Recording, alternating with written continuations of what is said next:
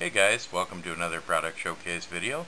Today's item is from Sunbeam Tech and this is their Tuniq TX-4 High Performance Thermal Grease.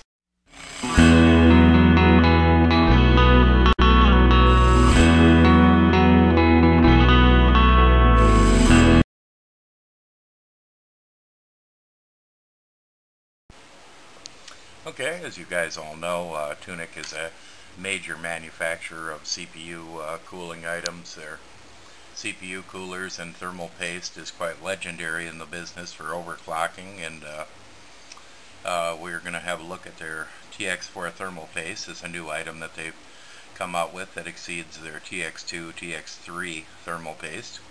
Uh, let's have a look at the package itself. Very nice bubble pack with some information about the uh, product itself as well as Tuniq's name easy apply, name to the or uh, link to the manufacturer itself. On the back side, we have a bunch of different features about it.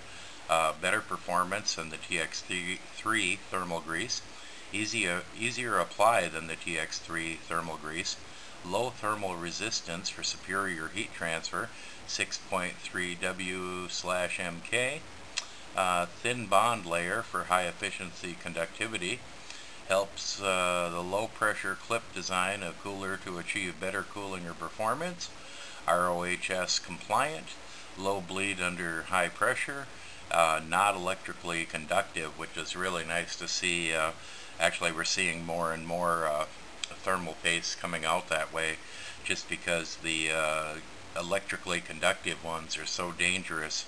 If it spills over onto the CPU, onto the motherboard at all, it can create shorts and uh, damage your product. So you definitely want to look for one that's uh, not electrically conductive. They have a little uh, overclocking chart here.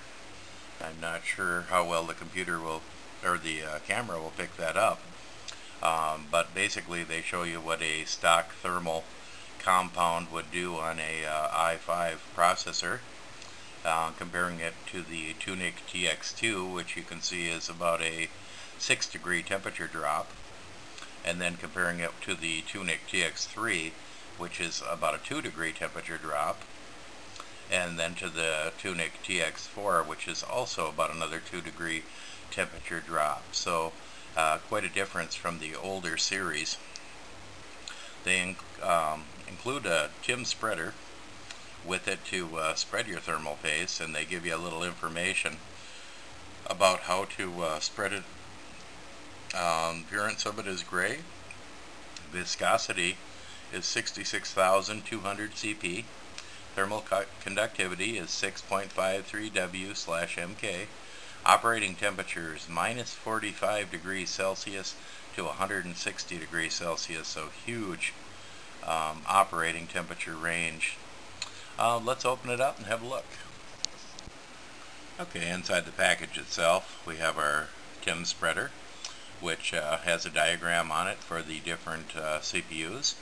AMD 37.5 millimeter, uh, LGA 1366 at uh, 34.5 millimeter, and your LGA 775 and uh, LGA 1156 at 29.5 millimeter.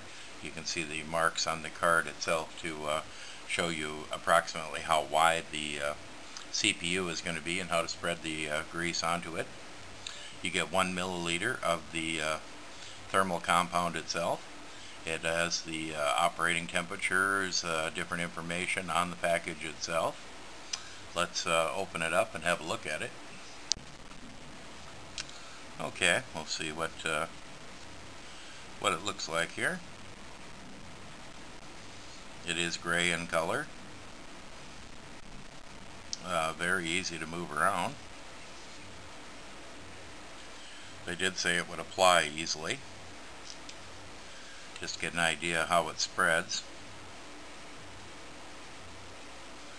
It doesn't stick very well to paper, of course, but uh, it gives you an idea of how smooth it is. And uh, it is a very dense paste. Um, not like some of the runny stuff that we've seen from uh, some of the other manufacturers. So it looks like it will really uh, stick in place. Uh, we're going to do some uh, benchmarking we're going to uh, compare just some uh, over-the-counter uh, paste with the TX4 to see what a difference it'll make on just a uh, stock Intel uh, 775 cooler to see how much difference it really makes. Okay, for this test we're just going to use our uh, high-speed PC Toptek uh, TechStation to uh, run our tests on. That way we know it's got a good airflow. We can't uh, blame a case for not uh, getting good ratings. We have our CPU cleaned thoroughly as well as our stock cooler. Uh, this is a lapped CPU. It's a D Intel Pentium D820. Uh, so that way we'll have good copper on copper uh, conductivity. And for the first test we're just going to try some of this over the counter uh, actually, this is from uh, Radio Shack. This is some of their uh, CPU compound. So uh, let's try that and see what kind of temperature we get. Okay, we're going to run a couple of tests here. Um, we're going to run it at idle uh, temperature, which uh, as of right now is about 50-51 degrees on the over-the-counter thermal base. And we're also going to run a load test on it and see what temperatures do at load uh, see it drop down to about 49 now so we'll use that as our baseline for the test.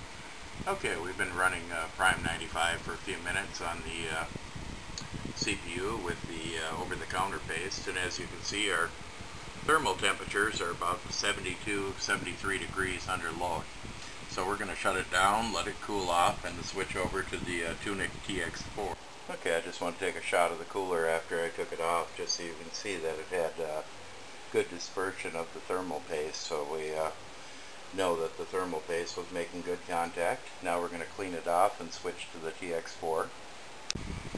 Now for the idle temperature on the Tuniq TX4. Uh, we're idling at about 45 degrees so we gained a few uh, degrees on uh, idle with the uh, Tuniq paste. Now let's uh, start up Prime 95 and see what it does under load. Okay, we've been running Prime 95 uh, on 100% uh, on both threads.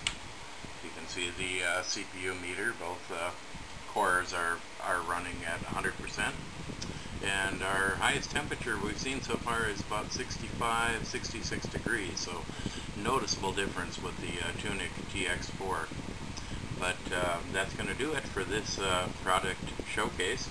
We want to thank Sunbeam Tech for providing the uh, Tuniq TX4 paste. And we want to thank you for watching.